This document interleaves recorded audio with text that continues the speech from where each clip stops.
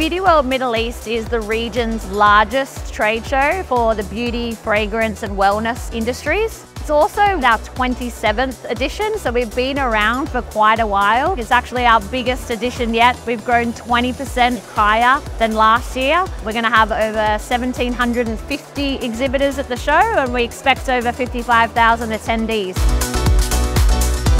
We're all about discovery, connection and inspiration. So we want to make sure the experience is not like anything that they have anywhere else. So it's more than a trade show. So we have our front row stage by Nazih Group where you can watch exciting live demonstrations and high energy shows. We have competitions like Nail It, which is for nail artistry. We have the Beautyworld Middle East Awards and we have lots of other networking. This year we're going to have 25 different country pavilions from Asia, from Europe, from the US quite a good representation from around the globe and that's our largest number of pavilions yet.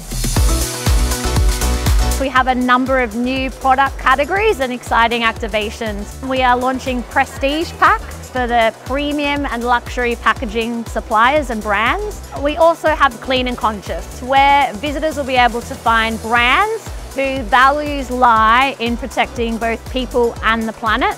And another really exciting activation that we have this year for the first time is the Emovation Lab. Participants will be able to create their own fragrance based on their emotions and take that home with them.